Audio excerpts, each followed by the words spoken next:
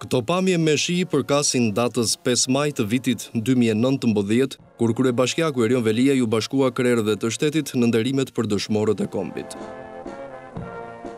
Madje, në një tjetër ceremoni të posaçme, Veliaj shprehet se sa krenar ndihet për ata që luftuan për atdheun. Një nga gjërat që më bën ndihem shumë krenar që shërbej në Bashkinë e Tiranës është se falë kësaj sakrifice të dëshmorëve, Tirana është i vetmi kryeqytet në lindje që është çliruar me forcat e veta, me forcat e qytetarëve të vet, të partizanëve dhe të atyre që ranë dëshmorë. I vetmi qytet në lindje që u çlirua pa ndihmën dhe pa trupat e Ushtrisë së Kuqe Ruse në territorin e vet. Por këto duket se janë vetëm procedurë dhe në shërbim të propagandës.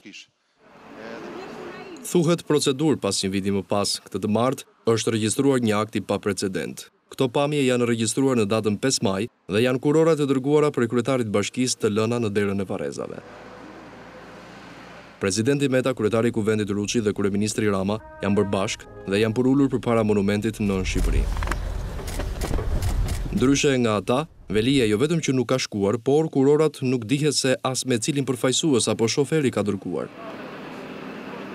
Sjellje të tilla tregojnë se sa nderohen në fakt ata që dhanë gjithçka për vendin, ndërsa sigurisht pritet që Veliaj të fajësojë ata që filmojnë dhe publikojnë sjellje të tilla të turpshme.